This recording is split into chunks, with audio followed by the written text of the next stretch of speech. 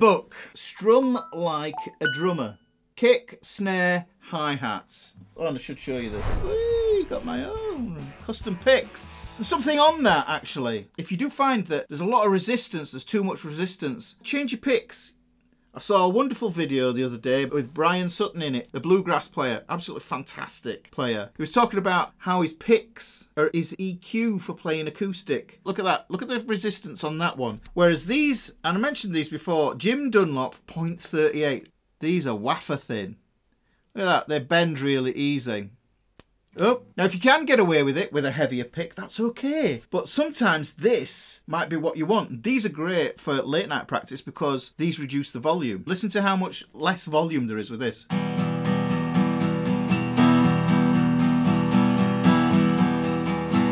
One and two and three and four. The pick's doing all the flexing. I don't have to focus so much on rotating.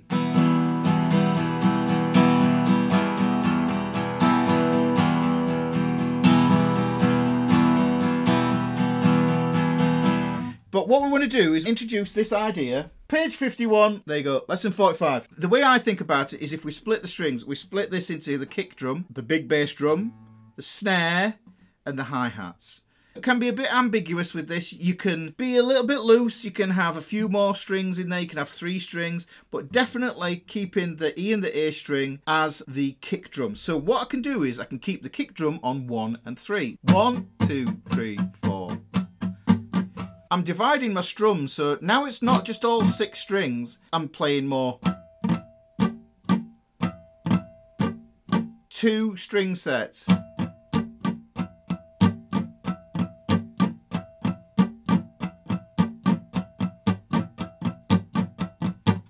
I'll play it flat without the binary pulse on that E minor again, with the binary pulse, all six strings, and then I'll split it so you can hear the difference. So this is flat, I've got to go like a robot, I've got to remove the pulse. Oh.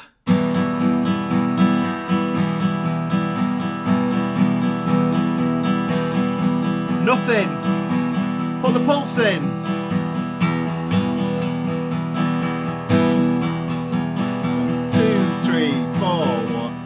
See, I've already gone to the drum strum. One, two, three, four.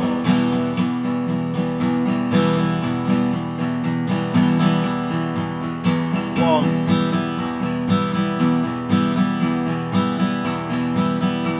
That's splitting it.